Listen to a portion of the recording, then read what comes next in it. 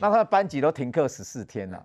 这个当然是我觉得说，如果是停课的话，当然其他可以用补课或远距教学，那就跟昨天的教育局通知松山的明呃明星国中一样，不现在就搞得家长很乱，就说他昨天是晚上来通知哦，然后说哎。现在是要临时停课，所以请家里面准备好相关的电脑设备，包括这些视讯教学，准备好。啊，又有人家长跟我反映说，啊，你们是谁没出来，不要乱用，就变成今天没法上课。特别是那个框列够不够啊？对，所以现在框文山区的部分，他现在框列这样，就说老师教过了班级，嗯，才那个才停课。那那老师的家庭呢？没有框啊啊，没有框哦，现在就会变成一个问题啊，是变成有破口。那学生停课，学生下课的时候会不会跟其他的学生接触？所以我不能双重标准。你在松山的部分呢？昨天松山的明星国中，它是全校今天停课一天哦。那文山的部分，它只有老师教过的班级停课而已。那那老师家庭的那一端呢？他的家人端呢？管道啊。那其他的班老师没有教到的，其他的班级变成没有学生在校不会有接触吗？那你要接触的接触这一些怎么办？就是说第一层，当然你学老师跟工人有接触，那老师教的学生直接停了没有问题。那你第二圈呢？这些就说你没有停课没关系。那未来 PC 啊，你要不要去筛出来了？刚刚在讨论说这些如何去做控管。所以台北市现在的做法就变成好像有点双重标准了。它的标准是怎样？我觉得要统一啊。就说好，你要框列，那第二个你要去停课，停课是停班级而已，还是要全校停？嗯，这些当然影响很大了。可是感觉台北市做一半呢，学校那个部分停，那问题是老师那边他的家庭那边的成员就没有做到。我这个要说清楚，如果你要框的话，譬如说老师的家庭这些怎么做，不要让它变成有破口。那第二个对学校框，现在开学当然影响相对的可以稍微小一点，还没有到考试的时候。可是学生的受教权要保障嘛？就说怎么能要缩短？比如说昨天教育局呢临时大概七八点才通知，我觉得对很多家长是措手不及、应变不及。当然家长也愿意配合啦。可是说现在防疫当前，如果把框列拉到最大，严阵以待，这是需要的。那第二个，对于学生的受教权要保障，就说远距教学的时候，不一定每一个家庭都可以做配合的时候怎么办？但是受教权跟那个感染风险，可能也是要。要权衡啦，当然要。现在是以防疫为优先，全力配合。可能不要说啊，现在昨天是三个区四个学校，通砰砰砰爆出来，不要再继续扩散。所以。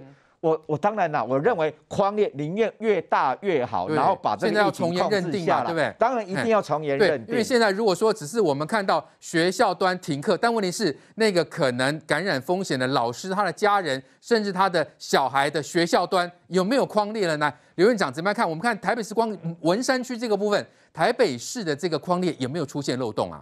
哎，从这来看哈，我们还是担心哈，因为。整个的环境的感染也是要担心的一部分啊，所以我们不要只担只说，哎，他就居住一个环境而已，可是他在整栋里面，他可能会有传染性。那那个啊，确诊工人跟老师都去同一个诊所，哎，哇，那那个诊所医护还有其他的病患同时间啊出现在那个地方，也是高度风险喽。我们回想到说，呃，在今年初有布桃事件。然后有个布桃有个个案是癌症的个案，后来到那个桃园南区里面一家医院去看，在门诊而已哦，那停留时间就因为这样传染给另外一个个案。哦，那这样的时间我们去看时间也交错只有十几分钟，所以还是这边要提醒大家，对这个诊所危险哦，哎，这个危险就是说，因为他可能在环境当中，对，哦啊，因为如果是他稍微打个喷嚏或者手这环境上面摸来摸去，它的传染源会涵盖在环境当中，我们所知道，无论是在呃，病毒、孔病带病毒是在这个板子啊，或者桌子，或者在一些无锈钢啊，可能它存留两天的时间。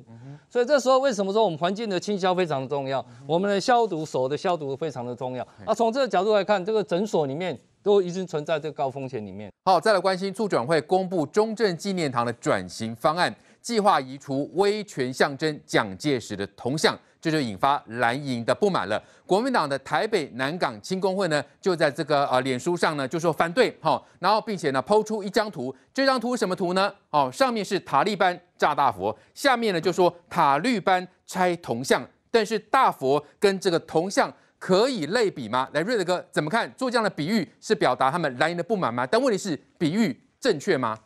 呃，如果你们那么在乎这个蒋介石的铜像的话，那么我要请问你，蒋介石在后来啊，那么一生，尤其是到台湾来了以后，那么他所坚持的理念是什么？反共复国，不是吗？他不是坚持反共复国吗？那为什么你们到现在会沦落到这样的程度？有多少人变成舔共？有多少人，包括那些所谓的退将在内啊？那么国民党籍的退将在内啊，到中国去干了什么事情啊？那么你们心中还记得这个人啊？还记得这个所谓的中国国民党的总裁吗？那不管你这个等于说喜不喜欢、承不承认，那么蒋介石在中国国民党里面呢，有他领导的一个地位。可是问题是，那么历史是很残酷的，历史也是很现实的。为什么呢？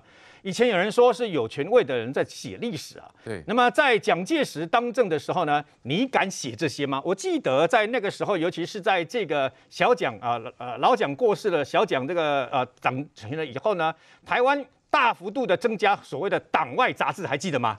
我那边有几百本。我有计划的去收集各式各样不同的这个被查禁的，其来其中郑南龙的相关的这个周刊呢最多啊。那时候郑南龙很简单，前面都写一个文哲由郑南龙负责。后来他啊这个殉道自焚呃以后呢，就换叶菊兰写文哲由叶菊兰负责，也就是不要去抓里面的人了，算我的哦。那么事实上，有时候听起来很难过了，为什么呢？蒋介石啊。那么盖棺论定一个人的这个等于说功过啊，他的功过是两个非常极端的，在很多的深蓝者，我我看在骊山的一些啊果农啊的家里面，甚至有蒋介石的这个佛像，把他当做神明在拜。哦，这样子哦，对，把蒋介石当做神明在拜。哦，呃，对，没错。然后呢，可是你不要忘记，汤德章，台南滕德滕德中对吧？哈？汤德章。然后呢，包括我们嘉义和著名的这个画家，对不对哈？我有好多人，好多人啊，在二二八也好，在白色恐怖事件也好，蒋介石是刽子手。嗯哼，这对他们一辈子对他们的伤害，那是无以复加的，永远没有办法平复的。是，你知道吗？呃，你知道台湾人有一个二二八事件，那你知不知道外省人也有一个二二八事件？澎湖事件。当时澎湖有一个呃青岛，从他们从青岛撤退了以后呢，有位校长，然后带领了这些学生到了澎湖来，就本来希望能够带到台湾来读书，结果全呃这个年纪比较大的全部被抓去要当这个呃冲冲冲冲军的地方了哈。然后这个校长啊抗议了干什么啊？最后他被跟老师被枪决，押到台湾来枪决，到台北市的啊好像是马场町还是哪里的枪决啊？然后呢，那些学生发表不同意见的学生，半夜被抓走，放在布袋里面，被这个军方直接弄到这个啊台湾海峡，全部丢进去。这就是叫做外省人的二二八。这些人对他们来讲，蒋介石是什么？所以我觉得历史是公平的，也就是说各自的评价。但是你把这个呃蒋介石的铜像去跟塔利班炸掉那个世界级的大佛相提并论，我是反对的。嗯朱立伦特别去讲说什么要把中山高速公路给废掉，对不对？哈，要不要那是不伦不类。对，为什么？因为那时候盖中山高速公路的执政党是你们中国国民党啊。中山高速公路，请问它的全称叫什么？叫做中山高速公路吗？是台湾第一高速公路。国道一号，请你搞清楚。另外一条国道二号、国道三号，包括现在我们说蒋渭水这个高速公路，其实它叫国道五号。我们是用编用编号来写的。可是你现在却把这个事事情呢丢个倒菜豆腐哈，然后把它这两者不相关嘛？这是完全两回事，完全不能这个相提并论啊！对台湾好的部分，我们肯定，但是一个人不能因为你做了九十九件好事，然后呢，你做了一件。杀人放火的事情，去毁人家庭的事情，然后我要我原谅你所有一切，不可能啊！不可能的代际呀！我的老师里面也有世心也好，有也有这个所谓的政治受难者啊，也曾经被这个蒋介石他们迫害过的，啊你知道吗？所以你要知道，对他们来讲，蒋介石是什么？蒋介石不是你们说的救世主，哎，我再强调一遍，对有些人来讲，蒋介石是救世主，但是对一些被迫害人的来讲，尤其是台湾人来讲，他是刽子手。对。所以呢，刽子手就不应该这个坐在那个地方。但是你当然了，那个赵少康他们说可以把它改成反共园区了哈。我真的不知道赵少康这个反共园区这个 idea 是哪里来的？为什么中国国民党现在还有人在讲反共吗？是啊，你知道当时蒋经国那么为了要反攻大陆，建国必成，反共必胜，所以他的爸爸给他一个单位叫做中华民国青年反共救国团呐。是啊，请问你一下，现在。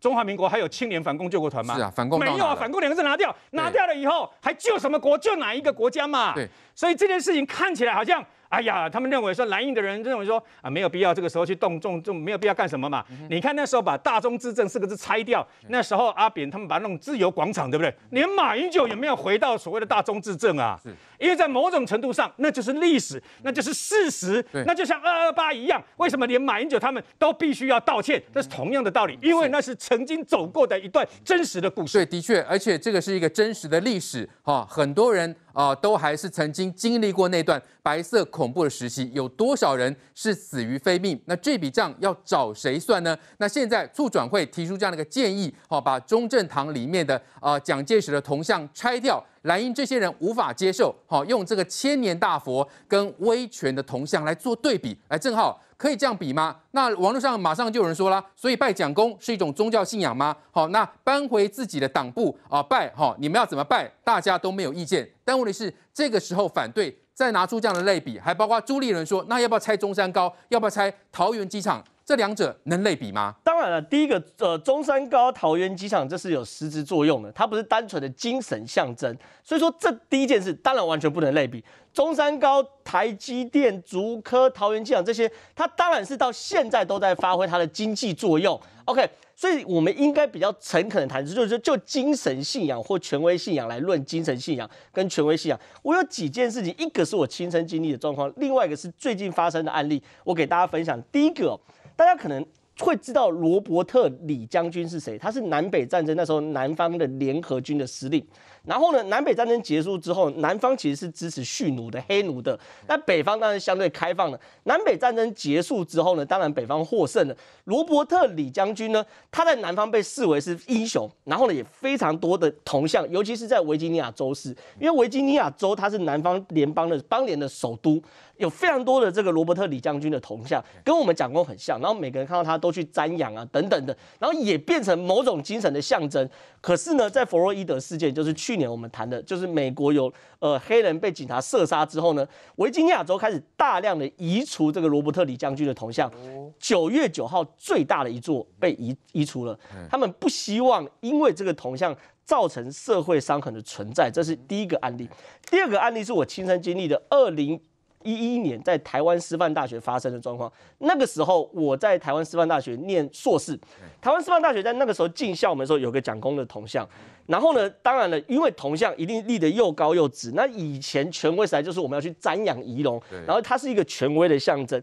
那个时候呢，后来被人喷漆，我在念书的时候被喷漆权威遗毒，然后呢，师大就开始讨论这个案例，我觉得可以大家去思考，就说这个蒋公铜像。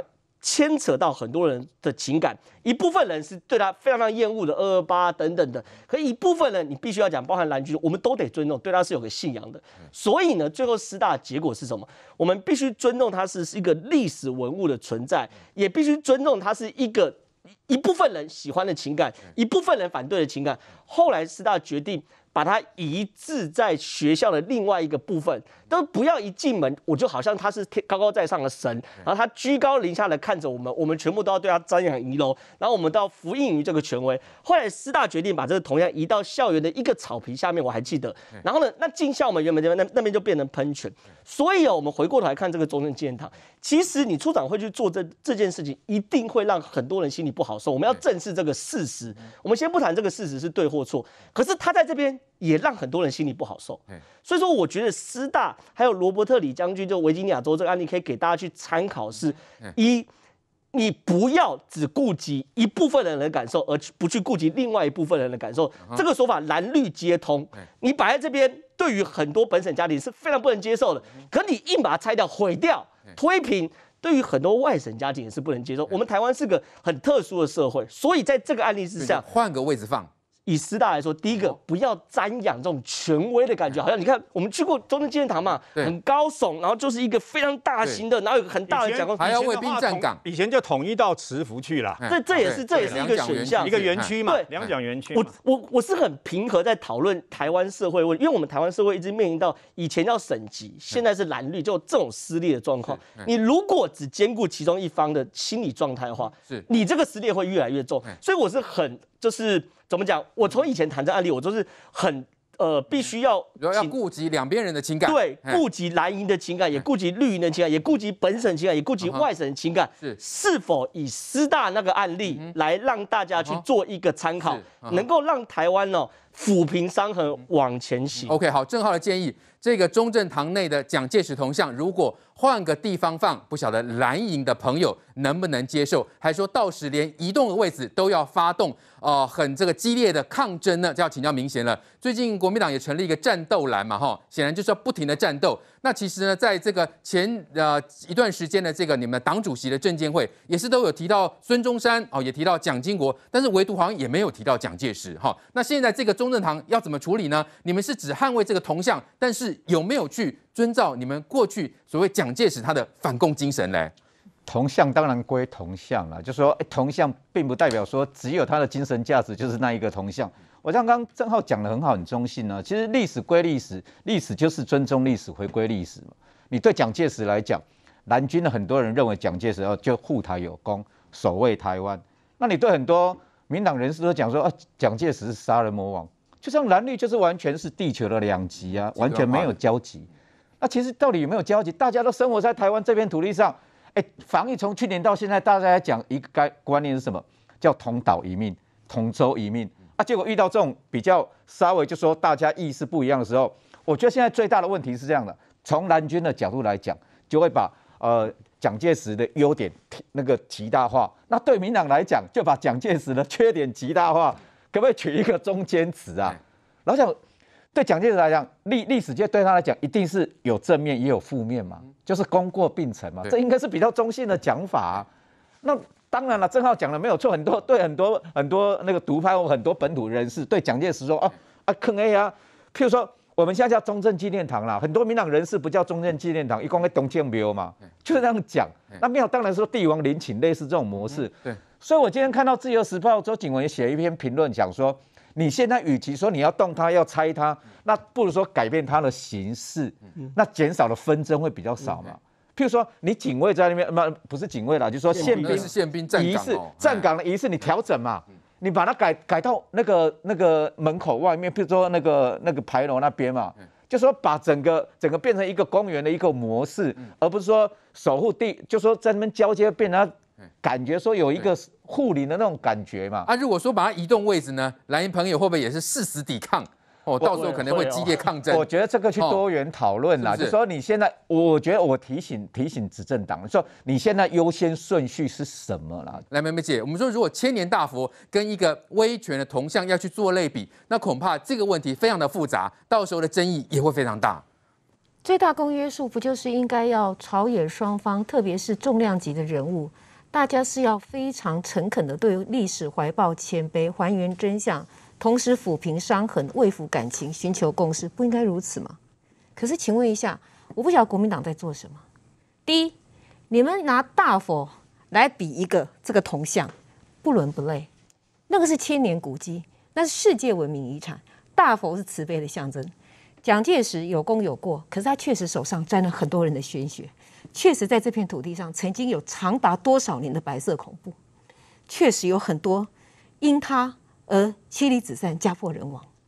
大佛手上没有鲜血，那是人类共同的遗产。可是蒋介石的功与过，在台湾到今天，还有历史的遗绪还在争论当中，还是有很多的人，他可能一辈子悲伤的记忆还没有被抚平。你们拿这个来类比，对吗？第二，讲塔利班，那把民进党叫塔利班。你们这是在干什么？我请问一下，第一，你这你知道这是对伊斯兰宗教多么严重的侮辱吗？歧视吗？用谐音塔利班、塔利班，这个是幽默吗？还是一种歧视？制造纷扰？你问问住在这块土地上面信奉伊斯兰教的台湾的居民，他们心中的感觉如何？怎么一个堂堂的最大的在野党会讲出这种不伦不类、这种乡民的酸言酸语，居然出自你们堂堂政党的口？第二。号称最正常的叫正常轮，为了一个党主席可以这么不正常吗？可以把国中这个桃园机场、把台积电的晶片、把这个高速公路对中山高拿来类比，说通通拆掉？请问你是在煽动仇恨吗？你是在制造这种割裂吗？你用这种极端的语言，完全不正常的语言，来拉拢深蓝的选票，只为了成就你未来的党主席的梦吗？他这么讲，是不是就没有打算跟你理性讨论了？不要嘛，他要的是政治红利嘛。他如果你真的爱台湾，你怎么用这些语言来讲话呢？越刺激，越辛辣，越能够笼络住、绑架住深蓝的感情。他的党主席选举就会得利，可是伤痕是什么？伤痕是这块土地上面永远有不同历史记忆的族群要来共同来承受。请问这是一个负责任政治人物该做的事吗？第三，我觉得明显是非常的平和哦，我也赞成，就是说我们要尊重这个土地上有不同的族群，有不同的历史记忆，有不同的感情。那我们都要好好谈之前，请台面上政治人物先不要用这种割裂仇恨，这第一个。第二个，我也请大家心平气和的来想一想。一个我们首都的所在最精华的地区，有一个像陵寝寺的外观，然后有高耸的铜像，还有卫兵行礼如仪。每天，各位你会想到什么场景？我会想到什么？知道吗？我会想到北京天安门广场前那个躺在水晶棺里头的毛泽东，像不像？请问一下，民主国家谁来这一套？这不是个完全封建的象征吗？